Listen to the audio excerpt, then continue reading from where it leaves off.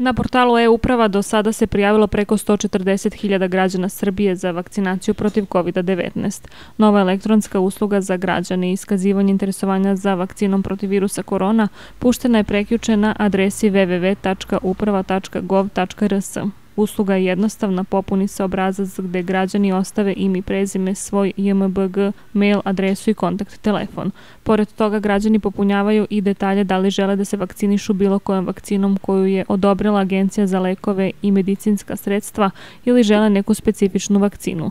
Popunjavaju i deo o tome da li imaju neka hronična oboljenja.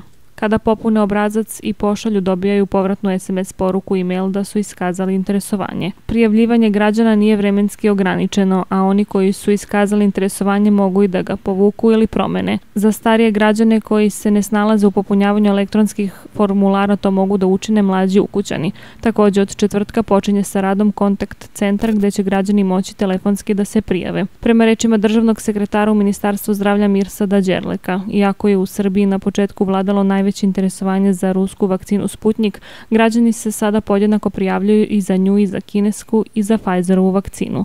Đerlak ističe i da će građani od sutra moći da se prijave za vakcinaciju i putem određenog telefonskog broja, te da će biti održan sastanak sa svim direktorima domova zdravlja oko načina rada. To znači da će izabrani lekar imati zadatak da pozove pacijente i obavesti ih o tome da mogu da dođu u dom zdravlja i da prime vakcinu, naveo je Đerlek.